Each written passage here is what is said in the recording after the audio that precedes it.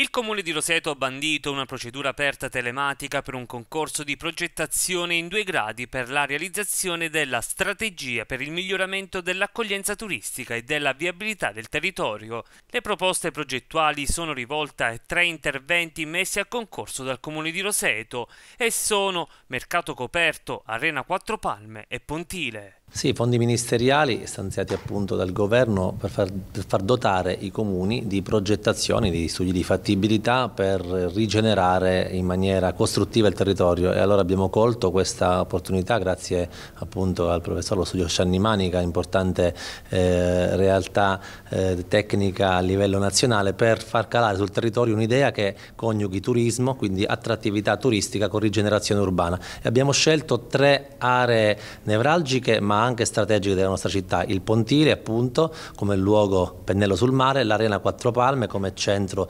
sportivo e aggregativo al centro della città e il mercato coperto, incagliato e incastrato all'interno delle vie interne della città come luogo antico del mercato. Questi tre luoghi che con questa progettazione, con questo concorso di idee verrà, vedranno una nuova luce che ovviamente oggi noi non sappiamo immaginare, perciò l'abbiamo voluta fare qui in provincia, allargata a tutti gli ordini professionali con il Presidente della provincia, con appunto una un'apertura che non sia solamente locale ma che sia globale. Il costo stimato per la realizzazione dei tre interventi è pari a 12 milioni di euro, mentre per i partecipanti al bando sono previsti tre premi per un totale di quasi 60 mila euro. Credo che sia importante questo strumento perché in passato la rigenerazione urbana prima ha messo i fondi e poi ha detto dotatevi di progetti, qui invece ha ribaltato un po', in, credo in maniera costruttiva il percorso. Prima fateci vedere cosa volete fare e quanto volete investire. Qui sarà un totale di 12 milioni di euro stimati all'interno dei tre progetti che appunto saranno uno stimolo per noi come amministrazione